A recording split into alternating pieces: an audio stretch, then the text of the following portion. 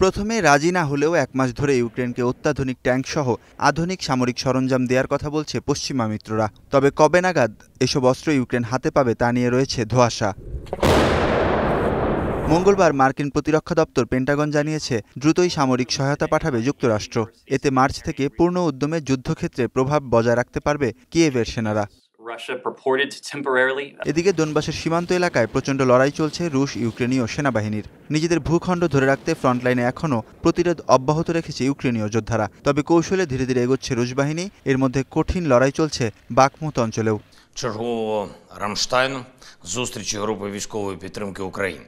54 держави-партнера.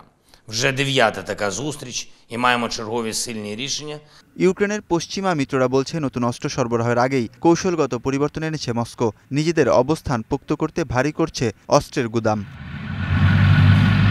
এদিকে মলদোভা প্রেসিডেন্টের অভিযোগ বিদেশি নাশকতাকারীদের ব্যবহার করে অভ্যুত্থানের মাধ্যমে সরকারকে ক্ষমতা থেকে উৎখাতের চক্রান্ত করছে রাশিয়া গেল সপ্তাহে একই অভিযোগ করেন ইউক্রেনের প্রেসিডেন্ট জেলোনস্কিও মলদোভা নিয়ে পুতিনের ষড়যন্ত্র নিয়ে উদ্বেগ জানিয়েছে যুক্তরাষ্ট্র ওয়ালিউল্লাহ ফারুক এখন বিশ্ব